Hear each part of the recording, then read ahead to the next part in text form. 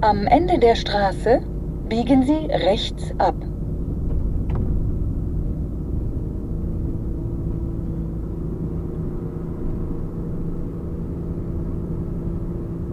Biegen Sie rechts ab.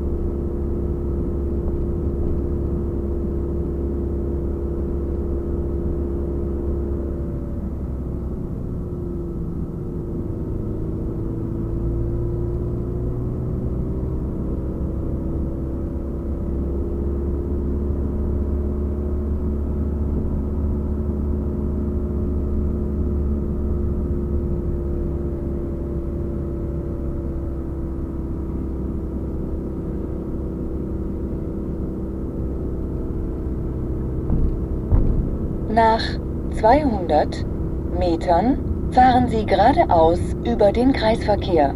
Dritte Ausfahrt.